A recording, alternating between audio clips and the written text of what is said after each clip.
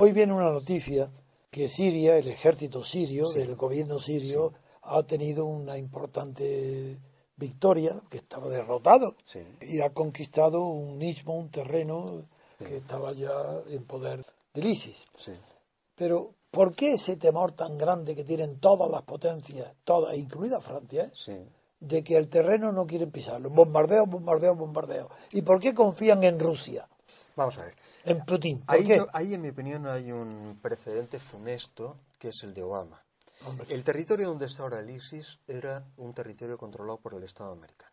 El ISIS se configura ahí en el momento que el Estado americano se retira y deja el territorio vacío. Pero era la parte de Irak, no era de Siria. No, bueno, pero es la frontera. Es la frontera y inicialmente el Estado Islámico se configura en esa franja de Irak y a continuación pasa, a operar. Pasa a operar en Siria. E inicialmente ni siquiera se llama todavía Estado Islámico, se llama Estado Islámico de Irak y de Levante. Levante, Levante. Y de Irak y Levante. Era Levante. E, I, L. Lo recuerdo muy bien. Eh, a continuación, cuando se asimila a la fracción del frente al-Nusra, es decir, de Al-Qaeda, que se desvincula de Al-Qaeda para prestar fidelidad al Baghdadí, al califato. Sí, eh, el califato lo proclaman inmediatamente después. Entonces, a partir de ese momento pasan a llamarse Estado Islámico y a continuación el Baghdadí hace menos de un año, no recuerdo mismo la fecha, pero menos de un año, proclama el califato.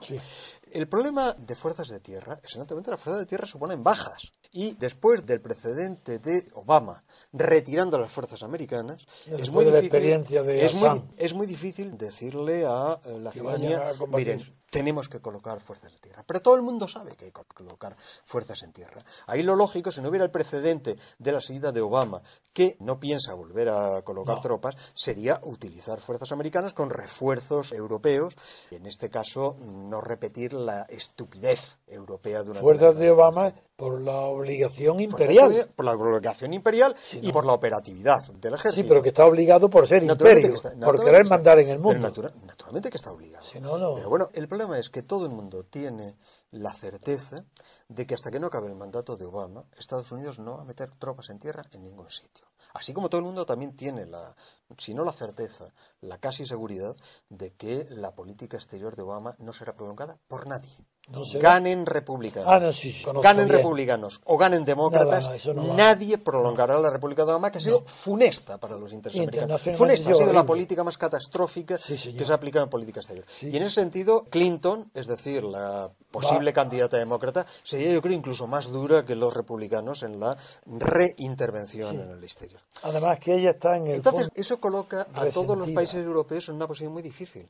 La única fuerzas de tierra operativas, de hecho, son las americanas, dentro de la OTAN.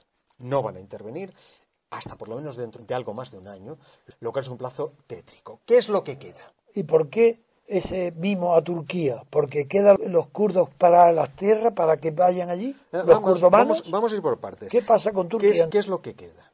Lo que queda es, en tierra, las únicas fuerzas operativas que están combatiendo son en el lado de Irak y de la frontera con Siria, los turcos. Yo estoy hablando de los kurdos. Los kurdos porque pero saben... un problema de Turquía. Sí, no, pero vamos por partes. Los kurdos porque saben perfectamente no tienen posibilidad. O sea, realmente los kurdos no tienen más posibilidad que la de combatir o ser exterminados. No tienen otra alternativa. En el otro lado, naturalmente, la atroz dictadura de Assad, que también sabe perfectamente que no tiene más alternativa que la de resistir o acabar, acabar, liquidado. Assad, por un lado, tiene dos aliados históricos, lo que fue la Unión Soviética, que en la actualidad se prolonga en Rusia, y por otro lado, Irán, cuyas fuerzas en la zona, Hezbollah, han sido lo que realmente ha mantenido a Jafar al-Assad pie en el momento en el que caían todas las demás eh, dictaduras. La hipótesis en estos momentos de Rusia es muy sencilla. Es, vamos a ver, en el momento en el que todas las potencias han abandonado la zona, nuestra hipótesis es mantener a Assad, utilizar la aviación rusa de un modo masivo, no del modo selectivo en que se ha utilizado la americana, sino de un modo masivo, para machacar las posiciones del Estado Islámico y, a continuación, hacer que en tierra las tropas de Assad. Y si es necesario, y es la hipótesis que probablemente a Occidente le da más miedo, y si es necesario el ejército iraní, para liquidar a los salafistas suníes del ejército islámico. Yo entiendo muy bien lo que está diciendo. ¿Qué sucede entonces? Que Francia, hasta que se produce el acto terrorista de noviembre, ve, como todos los países occidentales, con miedo la intervención rusa. Pero, sin embargo, a partir del atentado de noviembre, Francia llega a la conclusión de que Assad es un monstruo, pero es un monstruo que no es peligroso para Europa. De momento.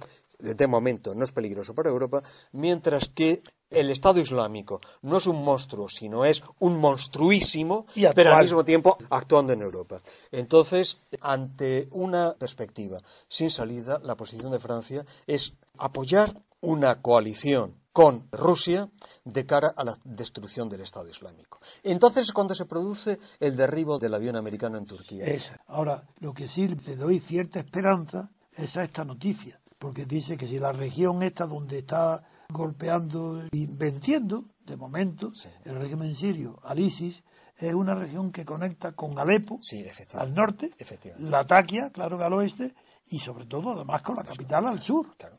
Pero date cuenta que esto se ha podido producir a partir del momento en, que Rusia ha empezado a bombardear la zona. Porque los bombardeos anteriores, Estados Unidos estaba bombardeando, pero eran, bombardeos selectivos. Oye, lo de los drones está muy bien para cargarse a un tío, ah, pero, es que cargándote a un tío no modificas nada. Eh, que la guerra es una cosa horrible en la que se mata muchísima gente. pues sí, vale, pero es que estás atacando a un enemigo que, insisto, está restableciendo la esclavitud y el mercado de esclavos. Pero es que el ataque allá es de que está en el mar. Así que para el petróleo, para todos los suministros, todo es que es otra vía.